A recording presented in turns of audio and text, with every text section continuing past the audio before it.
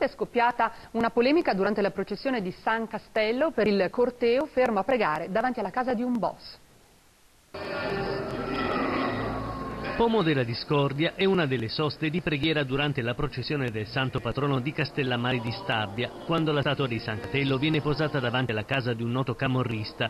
Pochissimi minuti, ma dal grave valore simbolico per il sindaco stabbiese, l'ex magistrato antimafia Luigi Bobbio, in aperto contrasto con i portatori della statua, ma anche con l'arcivescovo di Sorrento Castellammare, come mostra questo video diffuso da Stabia Channel. Noi ci fermiamo per il santo, così che... Lei lo sa come viene letta questa cosa? Lei lo sa come viene letta e come si rafforza il ruolo di quel personaggio?